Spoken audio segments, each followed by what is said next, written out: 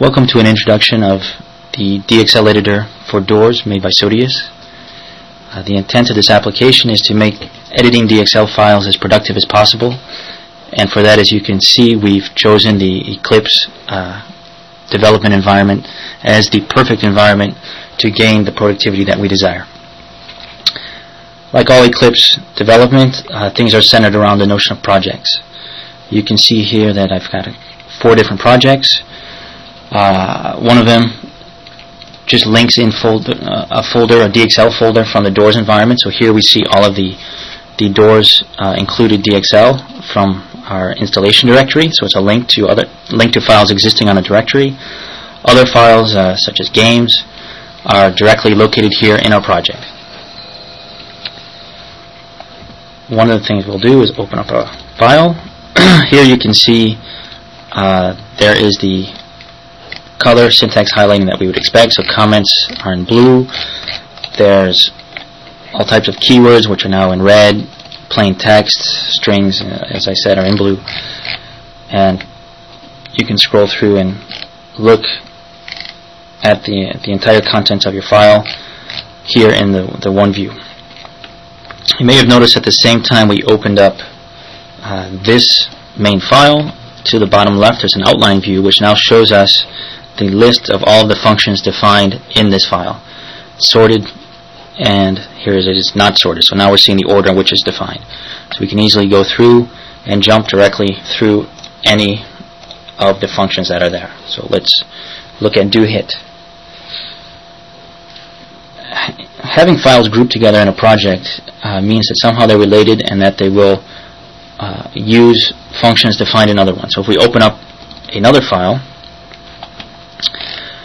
we can go through and we can now refer to things in a different file. So one thing we have is code assist. So as I here I type control space to get code assist so I can see the list of all of the keywords inside of doors, any of my functions defined anywhere else in this project. So right away I can go and say do hit and here I see this with the accompanying comment that was put in the original source file.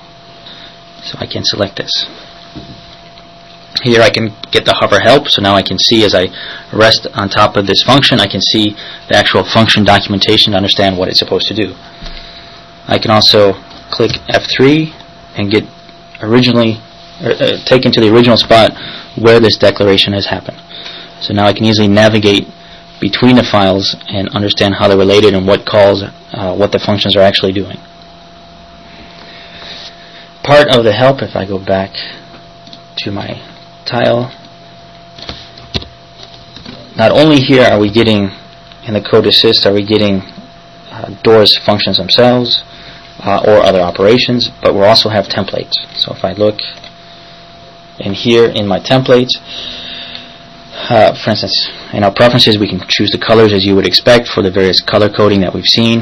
The templates, now we can add new templates and add a new template which will create uh, a very sample template, the description, um, add some sample text. And now I can put whatever pattern of code I'm looking to put, and there's all sorts of variables I can use as well inside of this pattern. So here I can say the pattern is going to be, we'll put um, if, then, and why not uh, else. It's not really a pretty code, but just to show you what it does. So here we can see what that will look like. So now when I'm back here and I say, let's put sample, hit control space, now I can see my sample template with my description and what that text is going to be. When I click, I now see exactly that text I put in that template. This is great for those helper functions which you use over and over again.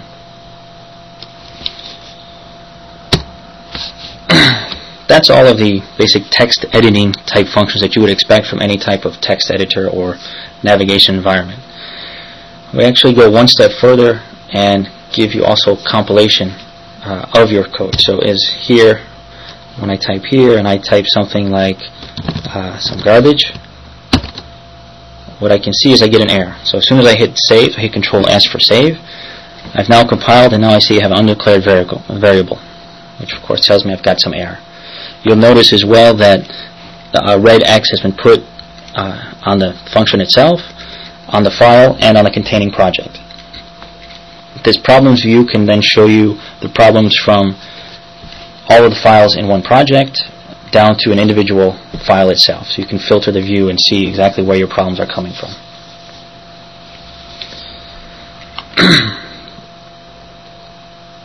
Another thing you can do is uh, view this and look at the changes. So as this is being Eclipse, you can share the project if you need to. You can go to Team and share the project and use CVS or any other source code control system you would like.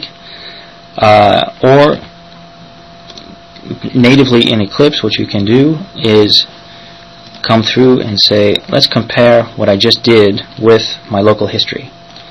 So now I can see all the different versions of this file and I can double click and now I'm going to compare my two versions. First I see that the difference that I have is in a function called start timer and I can see here that what I've done is added this piece of text here in this code so I can choose to either accept the old version or leave the new version and I can iterate through all the changes uh, in my file. Let's remove that. Another thing we can do is execute the file.